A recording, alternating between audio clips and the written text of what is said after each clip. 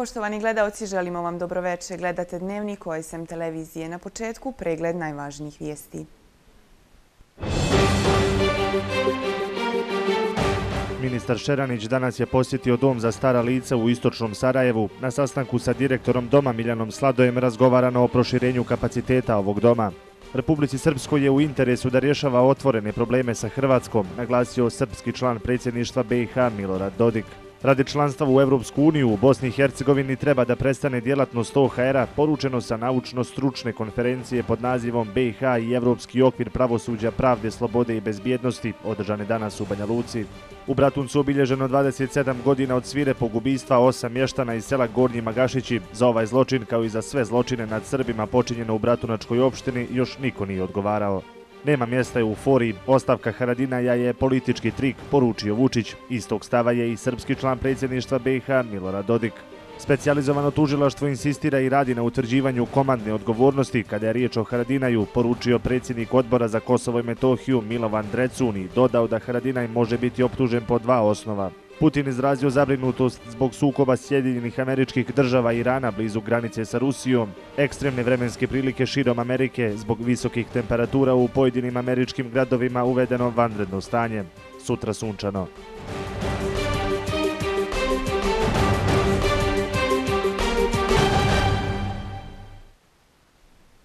Ministar zdravlja i socijalne zaštite Republike Srpske Alen Šeranić posjetio je danas Dom za starija lica u Istočnom Sarajevu.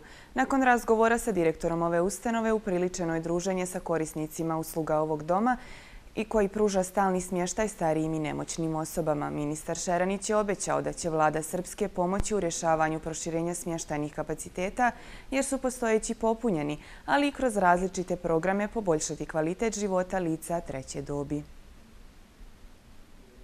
Slavko Miljević, korisnik je doma za starija lica u Istočnom Sarajevu već godinu i po i ima samo riječi hvale za smještaj i osoblje koje im je uvijek na usluzi.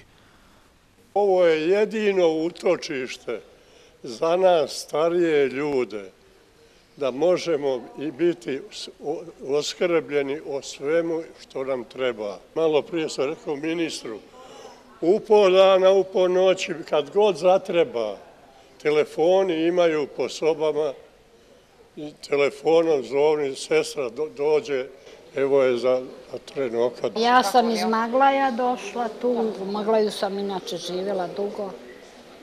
Ovdje sam došla u dom. Nemam, djeca mi otišli u Australiju, pa nisam mogla sama biti, došla sam. Kako vam je u domu?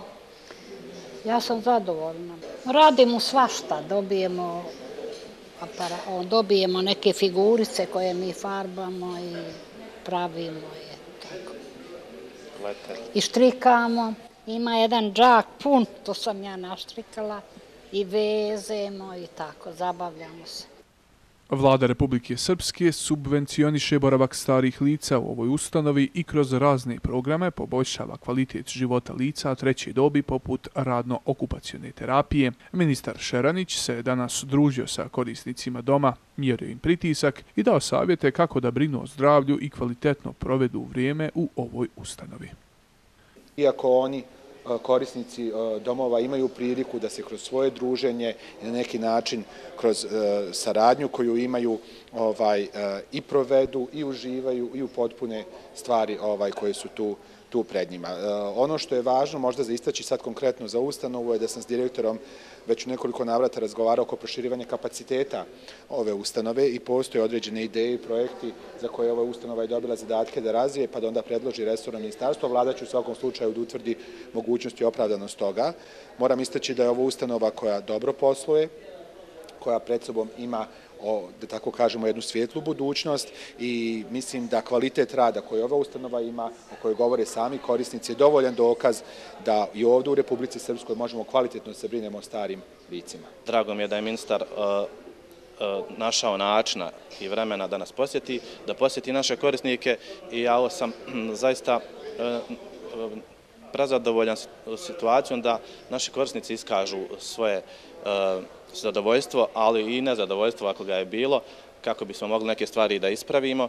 E, kako bi mogli da utičemo, da kažemo, u nekoj budućnosti. Jer naš cilj jeste e, konstantno poboljšanje usluga i kvaliteta usluga i životnog standarda naših korisnika. Ipak su oni nama dali povjerenje da provedu jedan dio svog života ovdje, zajedno i njihove porodice, naravno.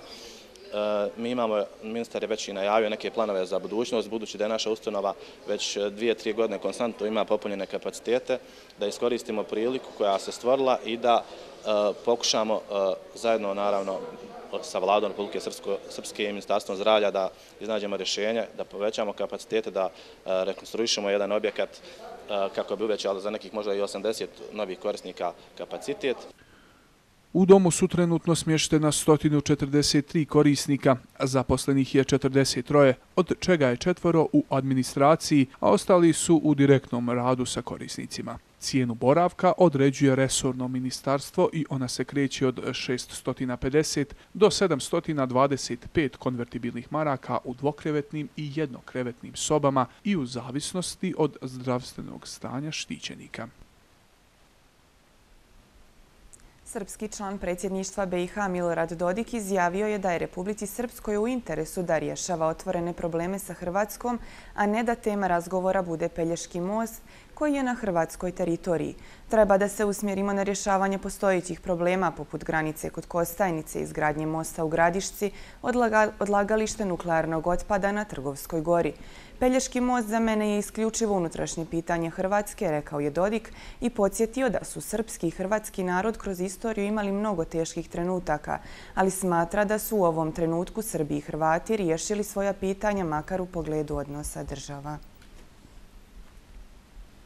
Srpski član predsjedništva BiH Milorad Dodik izjavio je nakon razgovora sa predsjednikom Srbije Aleksandrom Vučićem da mu ostavka premijera samoproglašenog Kosova Ramuša Haradinaja liči na sve dosadašnje farse koje je najčešće pravila međunarodna zajednica, a s ciljem dodatnog pritiska na Srbiju.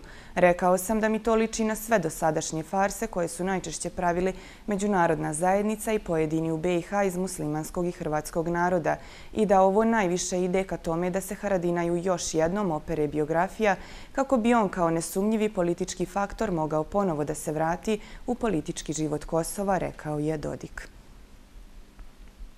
Lider socijalističke partije Petar Đokić smatra da SDA treba da preispita svoj stav u vezi sa formiranjem Savjeta ministara BiH i doprinese njegovom ubrzanom formiranju da bi na taj način i parlamentarna skupština BiH bila stavljena u funkciju. Đokić je istakao da je na SDA da promijeni svoju politiku sistem vlasti jedinstven i da se ne može posmatrati jedan segment odvojen od drugog sistema vlasti. Prema tome, SDA mora da prispita svoj stav u pogledu formiranja savjeta ministara i da da svoj doprinos, a može da se ubrzano formira savjet ministara i da na taj način bude stavljeno u funkciju parlamentarna skupština i oba njena doma da, da radi svoj posao. Prema tome, na SDA je da promijeni svoju politiku. Ja mislim da SDA, nažalost, koristi e, ovu poziciju da bi, ne znam ja iz kojih razloga, krajnji iracionalnih se svetila za nešto što je bilo u nekoj prošlosti, kada eventualno nije bilo lako moguće formirati savjet ministara u vrijeme kada je isticao mandat Nikoli Špirić imam osjećaj da naprosto SDA stalno nekom politikom revanšizma se odnosi prema svojoj društveno-političkoj ulozi u ovoj zemlji.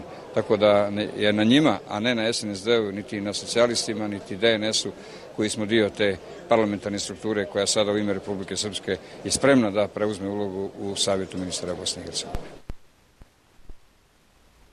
Mostarska filijala Agencije za javne nabavke BiH zatražila od Ministarstva bezbjednosti u Savjetu ministara u tehničkom mandatu dokumentaciju o nabavci na dogradnje infrastrukture informacijone komunikacijone tehnologije Operativno-komunikacijonog centra BiH 122 u vrijednosti od 1,2 miliona maraka. Agencija je u ovom slučaju postupila po zahtjevu koji se odnosi na navodnu zloupotrebu ove nabavke. U dopisu Ministarstvu bezbjednosti navedeno je da je nabavka provedena putem pregovaračkog postupka bez obavještenja. Ministarstvo bezbjednosti u Savjetu ministara u tehničkom mandatu obavješteno je da će, ukoliko ne odgovori na zahtjev za monitoring konkretne javne nabavke, Agencija za javne nabavke BiH podnijeti prekršajnu prijavu ili, ako bude postojala takva procjena, proslijediti predmet nadležnom tužilaštvu. Na putu sticanja članstva u Evropsku uniju i prilagođavanja pravnom, političkom i ekonomskom sistemu Unije, BiH treba da se riješi djelovanja OHR-a i ostalih supervizora. Važna pretpostavka za vladavinu prava zavisi od kapaciteta tri konstitutivna naroda i svih građana koji treba da se dogovaraju u sobstvenom interesu, a ne da to drugi rade umjesto njih, poručeno je sa naučnog skupa BiH i Evropski okvir pravosuđa, pravde, slobode i bezbjednosti, koji u Banja Luci organizovalo udruženje Centar za lobiranje. Sudbina Bosne i Hercegovine na putu ka Evropskoj uniji zavisi isključivo od domaćih institucija i u tom smislu u Bosni i Hercegovini treba da prestane djelovanje OHR-a i miješanje stranaca u unutar političke teme, smatra profesor Miled Mičić koji napominje da je BH još daleko od evropskih standarda i kriterijuma kako u ekonomskom, tako i u pravnom, političkom i svakom drugom smislu. Međutim, za Bosnu i Hercegovinu je sticanje punopravnog članstva u Evropsku uniju prioritetni cilj i neophodno je ostvariti prilagođavanje našeg pravnog i ekonomskog sistema prema evropskom. Posebno u pravosuđu i svim onim djelatnostima, kako ih zovemo, javnog sektora, da ostvarimo u našoj realnosti evropske standarde, da zapravo tamo jedinstven stav o tome da treba prestati djelatnost OHR-a i svih onih koje zovemo supervizorima i starateljima u Bosni i Hercegovini nad ovom državom i ovim društvom. Pri tome možda je dobro da naglasimo da nam je poseban interes da iz pravosudnog, posebno ustavno-sudskog sistema od sudije kao i svih drugih organa i institucija, prepuštajući organe institucije Bosne i Hercegovine domaćim kadrovima. Pretpostavku za vladavinu prava profesor Fakulteta političkih nauka u Sarajevu Selmo Cikotić vidi u kompromisu i konsenzusu, pri čemu će domaće vlasti biti kreatori odluka te rati na stabilnosti i sigurnosti. U slučaju Bosne i Hercegovine sigurnost u najvećoj mjeri zavisi od kapaciteta njena tri konstitutivna naroda i svih građana Bosne i Hercegovine da se međusobno dogovaraju u interesu svakog građanina, svakog naroda i države u cijelini, a da to ne rade drugi za nas, da sve reforme koje pravimo radimo na jedan stabilan način konsultacija, kompromisa i konsenzusa, pri čemu ćemo mi biti kreatori naših odluka, proizvoditi stabilnost Pregovaračka poglavlja koja tek čekaju Bosnu i Hercegovinu Srbija je započela prije tri godine pa bi ta iskustva mogla koristiti i domaćim institucijama. Iz regiona poručuju da je u nizu reformskih procesa najvažnije pravosuđe te borba protiv korupcije kao i zaštita osnovnih ljudskih prava i sloboda. Organizacija današnjih skupa zapravo je iz mog ugla prvi korak u uspostavljanju jedne kontinuirane saradnje i razmene iskustava u regionu i čini se da je jako dobar izbor što su učesnici današnjeg skupa upravo iz e, akademske zajednice, nevladinog sektora e, i što će upravo taj dragoceni pul znanja i iskustava biti jedna osnova iz koje dalje treba da se uspostavi kanal komunikacije sa institucijama i da se institucijama pruži e, konstruktivna, a ne destruktivna podrška u procesu pridruživanja Evropskoj uniji. Na konferenciji o procesima pridruživanja i pristupanja Evropskoj uniji raspravljalo se i o stanju procesa usaglašavanja pravnih standarda Bosne i Hercegovine sa pravnom stečevinom Evropske unije kako bi građani imali povjerenja u institucije koje treba da im garantuju zaštitu njihovih prava i budu nepristrasne, stručne, efikasne i nezavisne.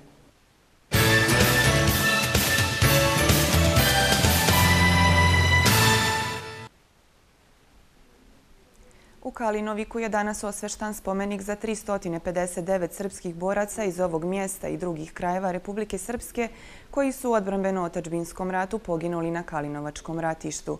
Spomenik podignut u centru Kalinovika osveštao je mitropolit Dabrobosanskih Hrizostom, a otkrili su ga sin poginulog srpskog borca Oliver Elez, Darko Mladić, sin generala Ratka Mladića, predsjednik udruženja gardista Predraga Ćimović, predsjednik Boračke organizacije Republike Srpske Milomir Savčić i načelnik opštine Kalinovik Mileva Komlenović. Upisano je ime Stanislave Koprivice koja je imala 15 godina kada je 1995. godine ubila granata na mjestu pored sadašnjeg spomenika. Dijete koje je završavalo malu maturu granata je u sami centar ovdje pored spomenika upućena, sve, ništa slučajno i, i nenamjerno. Jedinstveni po pitanjima od interesa, vitalnog interesa za e, Republiku Srpsku, za E, srpski narod, nikad ne može niko da bude opozicija tim pitanjem. Ti momci su nakon svojih završenih srednjih škola se odazvali pozivu da stanu u odbranu srpskog naroda, očuvanju srpske tradicije i stvaranju Republike Srpske.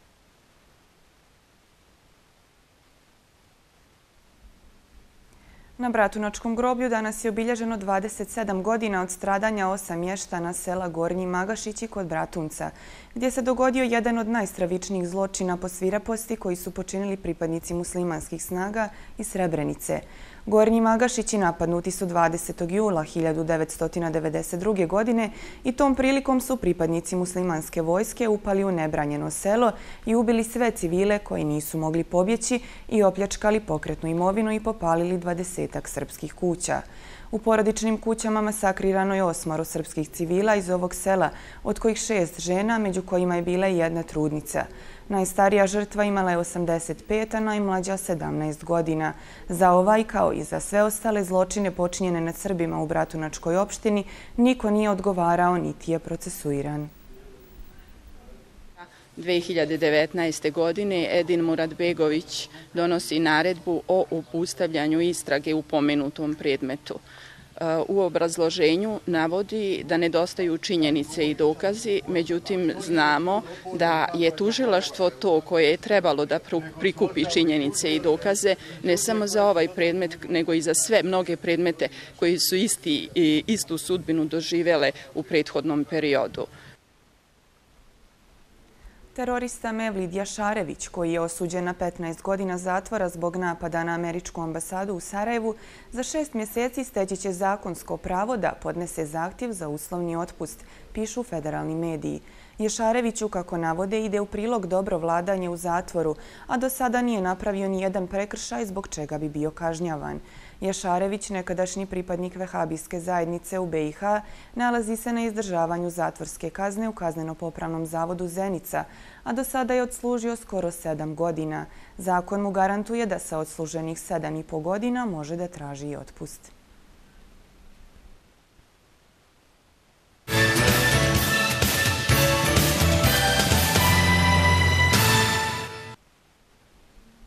Predsjednik Srbije Aleksandar Vučić istakao je danas povodom ostavke Ramuša Haradinaja da Srbija mora da odreaguje smireno, odmjereno, trezveno i bez ikakve euforije. Vučić je izjavio da se u narednih 2-3 mjeseca očekuje jačanje pritisaka na Srbiju iz svih aspekata i da će pritisci ići u pravcu da prizna nezavisnost Kosova. Nastavak dijaloga sa Prištinom je najvažniji za očuvanje mira i stabilnosti, a politički razvoj događaja na Kosmetu ide u smjeru za daljim odlaganjem razgovora, naveo je Vučić. Poziv da se pojavi pred specijalnim sudom u Hagu za ratne zločine OVK dobio i Haradinajev savjetnik Bislim Zurapi i bivši predsjednik Skupštine samoproglašenog Kosova Jakub Krasnići. Ostavka Haradinaja je obični politički trik kojim on želi da dobije još veću popularnost, istakao je predsjednik Srbije na konferenciji za medije u Beogradu. Ostavka Ramuša Haradinaja, sada govorim, a govorit ću nešto kasnije o pravnom aspektu, govorim o političkom aspektu, je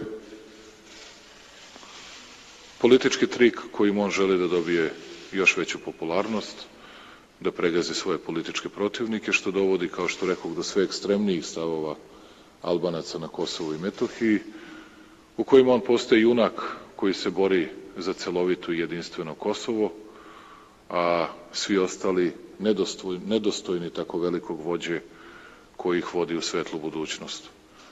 Istovremeno imate neskriveno čutanje međunarodne zajednice o zločinima koji su počinjeni nad Srbima, o zločinima koji su počinjeni i na delom Albanaca i drugih nealbanaca, pre svega Roma. I oni i danas ćute. Najmanje se govori o tome, a najviše se govori o političkim implikacijama. Ne zaboravite, u političkom smislu mogli ste od sinoć da vidite, zato je važno pokazati strpljenje s vremena na vreme. Mogli ste da vidite plejadu albanskih lidera iz Albanije, od Salji Beriše, Ljuzima Baše, Iljira Mete, svih mogućih koji su se izređali govoreći o Haradineju kao o velikom, veličanstvenom i fantastičnom junaku i koji su okrivljivali, okrivljavali sve druge za to što se danas dogodilo. Zašto sam ovo rekao? Zato što će vam suštinski, de facto, politička situacija u Prištini i u Tirani stremiti daljem približavanju, stremiti daljem približavanju, daljem ujedinjavanju i nastavku tragične priče, tragične po sve nas, priče o velikoj Albaniji. I o tome već neskriveno govore i na tome neskriveno rade. Predsjednik odbora za Kosovo i Metohiju Milovan Drecun rekao je da su se od završetka suđenja u Haškom tribunalu pojavili neki novi elementi i Srbija je tužilaštvu specijalnog suda ustupila novu dokumentaciju da bi ukazali na mogućnost podizanja optužnice na osnovu novih dokaza. Gostujući u dnevniku RTS-a, Drecun je rekao da očekuje da Ramuš Haradinaj bude optužen po dva osnova ako bude podignuta optužnica jer je za sada u statusu osumnjičenog. Prvo, od eh, završetka suđenja u Međunarodnom krivičnom sudu za bivšu Jugoslaviju, takozvanom Haškom tribunalu, pojavili su se i neki novi elementi. Radna grupa koju je formirao Odbor za Kosovo i Metohiju Narodne skupštine, a kojom predsedavam za prikupljanje činjenici dokaza u rasvetljavanju zločina nad srpskim narodom i ostalim e, nacionalnim zajednicama na Kosovo i Metohiji, je došla u posled dokumentacije koju smo ustupili specializovanom tužilaštvu u svoje vremeno da bi im ukazali na mogućnost podizanja optužnice po novim elementima. Dakle, jedno je što su utvrđeni novi događaji u kojima e, je učestvo direktno Ramuš Haradinaj. Drugo je komandna odgovornost. Ovo specijalizovano tužilaštvo insistira i radi na utvrđivanju komandne odgovornosti.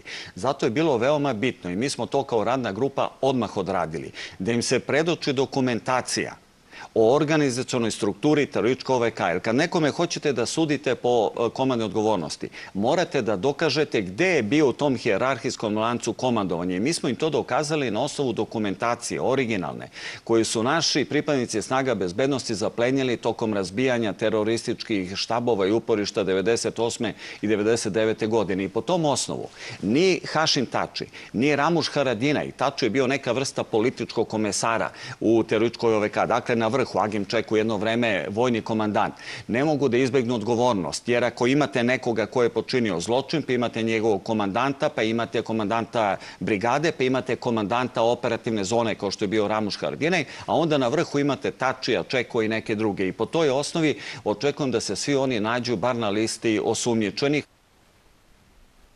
Generalni sekretar Evropskog pokreta u Srbiji Suzana Grubješić rekla je za RTS da ostavka Ramuša Haradinaja može da otvori prostor za nastavak dijaloga Beograda i Prištine, ali može i da zakomplikuje stvari jer je pitanje da li će Hašim Tači ići na rekonstrukciju vlade ili na prevremene izbore. Grubješićeva istakla da bolji poznavaoci prilika kažu da je kosovska vlada već duže vrijeme bila u krizi i da se specijalnom sudu za zločine OVK i o mogućim ljudima koji će biti pozvani govorilo duže vrijeme, tako da za njih nije iznenađenje. Ne treba zaboraviti da Haradina ide kao sumnjičeni, ali i da je već dva puta išao u Hagi bio oslobođen, rekla je Grubješićeva. Bolji poznavaoci prilika kažu da je kosovska vlada već duže vreme bila u krizi i da se ovom specijalnom sudu za zločine OVK i o mogućim ljudima koji će biti pozvani pre taj sud isto govorilo već duže vreme, tako da za njih nije iznenađenje što je i premijer Haradinaj i savjetnik e, Tačijev i još neki ljudi što su pozvani pred specijalni sud koji se bavi, kao što rekoh, isključivo zločinima OVK. Ali ne treba zaboravimo da Haradina ide tamo kao sumnjičani, mhm. da optužnica nije podignuta i da je on već dva puta bio u Hagu i da je oslobođen. Tako da ne može sve da bude podignuta optužnica, ne možemo se sudi za ista dela. Ukoliko su među vremenu pronašli nove dokaze, e, to je onda sasvim druga priča i to ćemo vidjeti. Ova odluka njegova da ode e, može da s jedne strane otvori prostor za nastavak dijaloga, ali s druge strane može i da zakomplikuje stvari. Jer sad je pitanje da li će Hašim Tači kao predsjednik Kosova ići na rekonstrukciju vlade ili na prevremene izbore. Predsjednik Srbije Aleksandar Vučić očekuje da će Amerika u septembru krenuti sa svojom inicijativom za Kosovo i Metohiju, ocijenivši da će to biti Jedinstven stav koji neće biti nimalo lak za poziciju Srbije. Od septembra, kada Amerika bude krenula sa svojim inicijativama koje očekujem, njihov stav biće potpuno jedinstven i svakako neće biti lagan za nas, rekao je Vučić na konferenciji za novinare u Beogradu. Vučić je naveo da mnogo više vjeruje američkom predsjedniku Donaldu Trumpu, njegovim ljudima i američkom sekretaru za nacionalnu bezbjednost Johnu Boltonu, nego mnogim ljudima u State Departmentu.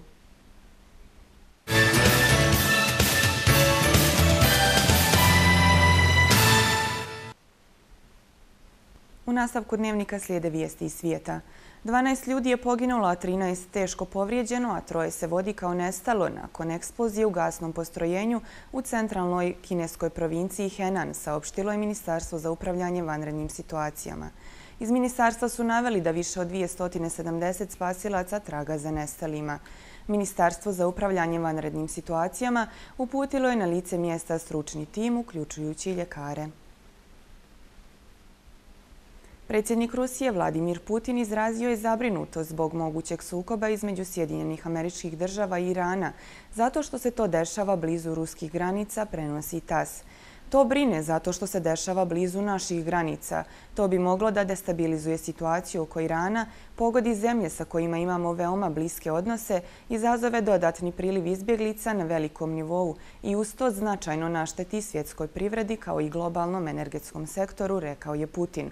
Centralna komanda američke vojske saopštila je da su američke snage pojačale vazdušne patrole nad Ormuskim moreuzom kao odgovor na iransku zapljenu britanskog naftnog tankera prenose mediji. Iz svijeta smo izdvojili još nekoliko vijesti. Britanski naftni tanker bio je umješan u incident sa ribarskim brodom prije nego što je zapljenjen u Ormuskom Moreuzu, rekao je šef Lučke kapetanije u južnoj provinciji Hormozgan Alahmorad Afifipur.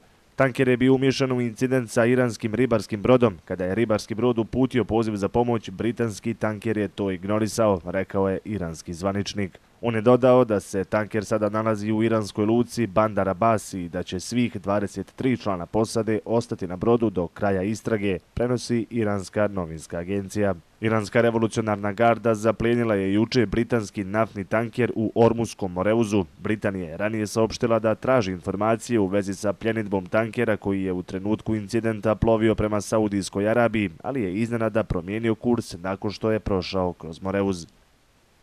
Više od 20 kuća i dalje je poplavljeno u gradu Tulunu u ruskoj oblasti Irkutsk, saopštila je pres služba Ruskog regionalnog ministarstva za vanredne situacije. U gradu Tulun poplavljeno je 25 kuća, što je pogodilo oko 62 osobe, među njima 12 djece, navodi se u saopštenju.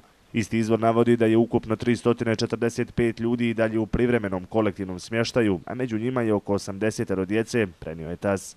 Obilne kiše i poplave pogodile su ovaj region krajem juna kada je više od 107 nasilja i oko 10.000 kuća pogođeno. U poplavama je poginulo 25 ljudi dok se 9 vode kao nestali. Predsjednik Rusije Vladimir Putin izrazio je ranije nezadovoljstvo u vezi sa brzinom pronalaženja smještaja za ljude raseljene usred poplava koji su pogodile Irkutsku oblast. Putin je odbacio glasine da je velike poplave u Irkutsku izazvalo miniranje u oblasti planina Sajan. Međutim, aktivisti grupe Greenpeace kažu da je razlog zbog teških posljedica poplava stalna i pretežno nelegalna sječa šuma, što su rekli neki mještani. Predsjednik Rusije je rekao da će nastaviti da se bori protiv ilegalne sječe šume, prenio je tas.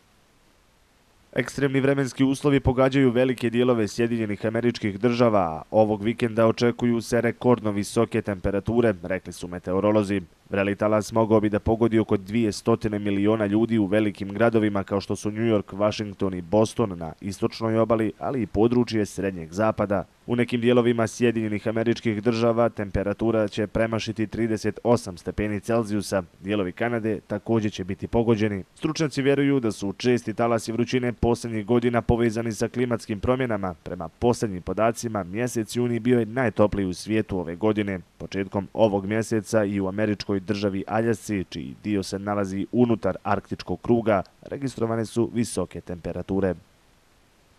Skoro hiljadu ljudi je evakuisano u Peru nakon erupcije Ubinasa, najaktivnijeg vulkana u toj južnoameričkoj državi. Erupciji su prethodile dvije snažne eksplozije. Gust oblak vulkanskog dima dostiže visinu od 5 km, dok je pepeo prekrio oblast u prečniku od čak 25 km. Nastava u školama u okolnim mjestima je otkazana, a žiteljima su podijeljene maske i naočare kao zaštita od pepela. Nakon vijesti iz svijeta ponovo o domaćim aktuelnostima, 14 mališana iz Pala danas su uz pratnju dvije vaspitačice otputovali na desetodnevni odmor u Bečiće. Zajedno sa njima otputovali su i mališani iz Milića, njih 17. Ovaj projekat realizovan je u okviru programa socijalizacije koji organizuje Fond za dječju zaštitu.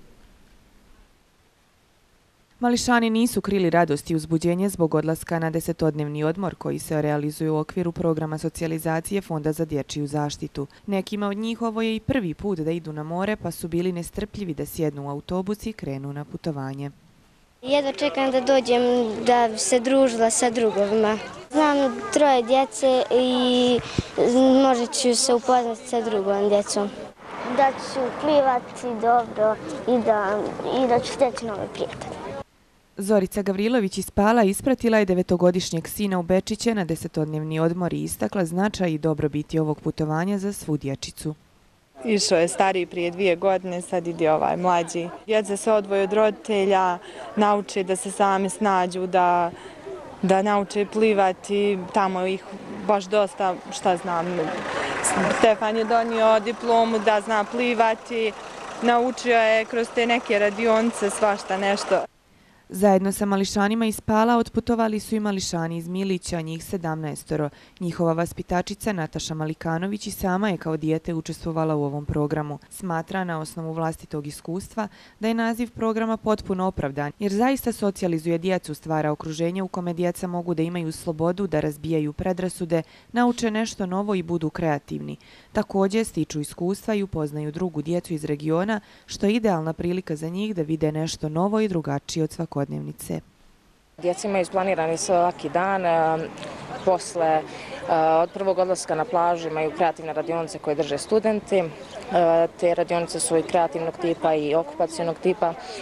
Tako da, pored toga, svako već imaju neku od aktivnosti kao što su pokazivanje svojih talenata, um, rad, timski rad se ovaj, dosta zalaže, eh, imaju sportske aktivnosti, takmičenja, Eh, izbor za najbolju frizuru, izbor za najbolju recitaciju, ima dosta aktivnosti koje su eh, sve usklađene da idu u tom cilju zbližavanje djece jedne sa drugima, razbijanje predrasuda i stereotipa, tako da mislim da je dosta korisno sve što će vidjeti tamo. Fond za dječju zaštitu Republike Srpske već 15 godina organizuje programe socijalizacije za djecu ciljnih kategorija uzrasta od 6 do 15 godina, čiji se razvoj odvija u nepovoljnim porodičnim, materijalnim, socijalnim uslovima ili osujećen razvojnim i zdravstvenim problemima. Osnovni cilj projekta jeste da se ostvari pozitivan uticaj na razvoj djece, zadovoljavajući njihove razvojne potrebe realizacijom prilagođenih programskih aktivnosti i stvaranjem pozitivnog afirmativnog ambijenta za vrijeme boravka u odmaralištu.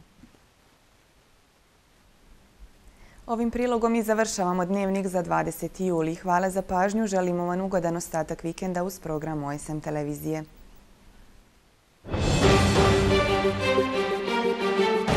Ministar Šeranić danas je posjetio dom za stara lica u istočnom Sarajevu. Na sastanku sa direktorom doma Miljanom Sladojem razgovarano o proširenju kapaciteta ovog doma. Republici Srpskoj je u interesu da rješava otvorene probleme sa Hrvatskom, naglasio srpski član predsjedništva BiH Milorad Dodik. Radi članstva u Evropsku uniju u Bosni i Hercegovini treba da prestane djelatnost OHR-a poručeno sa naučno-stručne konferencije pod nazivom BiH i Evropski okvir pravosuđa pravde, slobode i bezbjednosti održane danas u Banja Luci. U Bratuncu obilježeno 27 godina od svire pogubistva osam mještana iz sela Gornji Magašići. Za ovaj zločin, kao i za sve zločine nad Srbima počinjeno u Bratunačkoj opštini, još niko nije odgovarao. Nema mjesta u fori, ostavka Haradinaja je politički trik, poručio Vučić. Istog stava je i srpski član predsjedništva BiH Milorad Dodik. Specijalizovano tužilaštvo insistira i radi na utvrđivanju komandne odgovornosti kada je riječ o Haradinaju, poručio predsjednik odbora za Kosovo i Metohiju Milovan Drecun i dodao da Haradinaj može biti optužen po dva osnova. Putin izrazio zabrinutost zbog sukoba Sjedinjenih američkih država i Irana blizu granice sa Rusijom, ekstremne vremenske prilike širom Amerike zbog visokih temperatura u pojedinim američkim gradovima uvedeno vanredno stanje. Sutra sunčano.